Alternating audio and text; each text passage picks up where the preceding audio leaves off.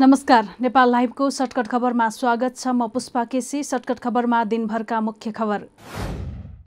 नेपालमा कोरोना संक्रमणबाट थप चौतिसजनाको मृत्यु दुई हजार चार सय एकजनामा संक्रमण पुष्टि तिन हजार छ सय साठीजना कोरोना संक्रमण मुक्त एक चिकित्सक स्वास्थ्य कर्मी एक स्वास्थ्य संस्था कार्यविधि केही अस्पतालमा विरोध केहीमा पत्र नै पुगेन कार्यविधिमा अस्पताल प्रमुखहरू नै अन्यलमा। सभापतिमा फेरि उठ्ने र सहयोग गर्न आफू निकट केन्द्रीय सदस्यसँग कङ्ग्रेस सभापति देउवाको आग्रह सकेसम्म सहमतिमा नेतृत्व चयन गर्न सहभागीको सुझाव। विपद जोखिम न्यूनीकरणमा विशेष ध्यान दिन राष्ट्रपति विद्यादेवी भण्डारीको सुझाव विकासका लागि भौतिक संरचना निर्माण गर्दा प्राकृतिक जोखिमलाई ध्यान दिनुपर्नेमा जोड। गण्डकी प्रदेशमा मन्त्रालय भागवण्डा कङ्ग्रेसले मुख्यमन्त्रीसहित चार मन्त्रालय पाउने। माओवादी केन्द्रले पनि चार मन्त्रालय पाउँदा जसपाका दुई सांसद नै मन्त्री।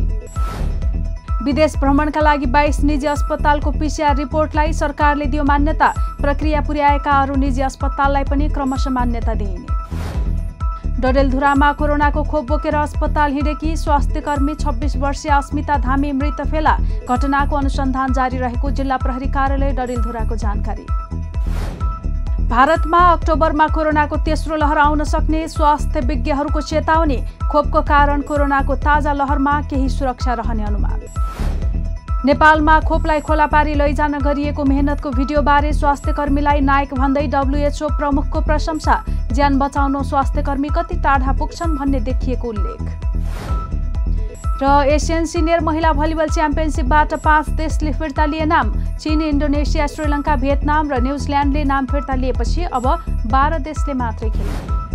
नेपाल लाइभको सर्टकट खबरमा दिनभरका मुख्य खबर आजलाई यति नै। नमस्कार।